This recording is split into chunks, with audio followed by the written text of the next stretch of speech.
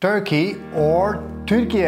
Welcome back to the channel everybody. In case this is your first time, my name is David. I'm the founder of Aegean Locations, a licensed real estate agency focused on the most beautiful areas of Turkey named Izmir, Çeşme and Alaçatı. Today I will provide you some information about the request of Turkey to change their name. The Turkish government sent a letter to the United Nations and requested to change the name from Turkey to Türkiye. The Turkish government wants to rebrand the country. They want to dissociate it from the bird with the same name. The name change became effective as soon as the letter was received. According to them, the new name better represents Turkey's culture and values. It will also include that for exported products, made in Türkiye instead of made in Turkey will be written. Turkey's ministries began using Türkiye in official documents. And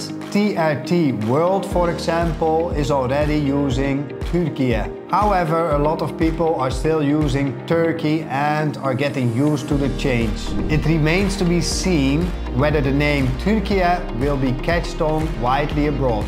For example, in 2016, the Czech Republic also requested to change their name. They changed their name from Czech Republic to Czechia, however, many people are still using their old name. In a lot of cases, people still call Türkiye Turkey. For example, this channel is called David in Turkey and everybody understands what it is about. Thank you very much for watching today's video. Don't forget to subscribe and like for more updates.